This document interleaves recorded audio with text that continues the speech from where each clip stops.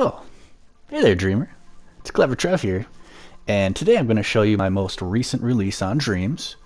It is called the Profile Background Wallpaper Creator, and pretty much what it does is what you can see here. It kind of randomizes a cool background that you can put as your own uh, wallpaper for your, your profile.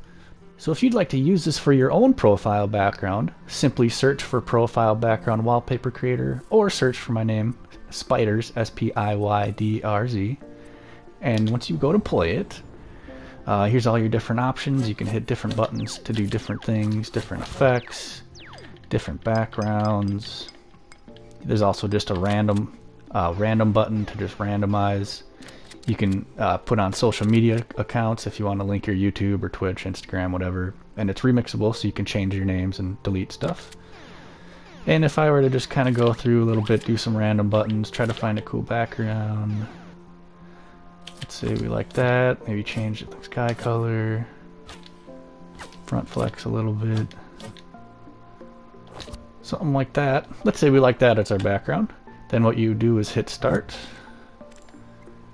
Go to photo mode, take a photo.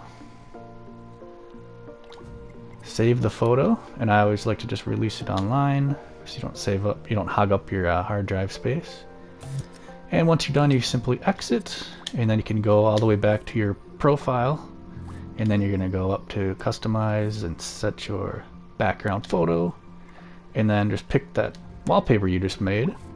And once you're done, there you go, you got a custom profile wallpaper background, whatever you want to call it.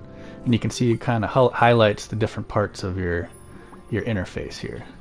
And that's about it, friends. Hope you enjoyed. Hope you can use it. It's Clever Trev. Take it easy. Welcome to Clever Trev Gaming.